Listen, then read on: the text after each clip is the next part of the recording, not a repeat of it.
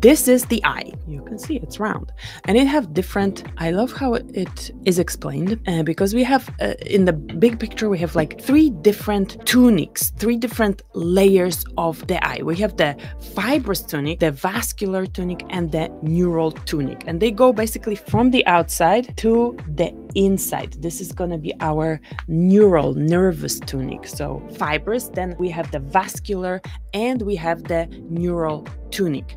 And the key roles of these tunics are going to be for the fibrous one, it's going to be protection and shape, and also giving this eye a shape, this round shape. Here we have like a little bit of an angle. Uh, this is going to be the fibrous tunic role. Okay, this is the protection from the outside. It has to be protected. Other than my glasses, I need to have some more protection. It has to be nourished. So uh, for nourishment, we're going to have the vascular level. Uh, where there are gonna be vessels.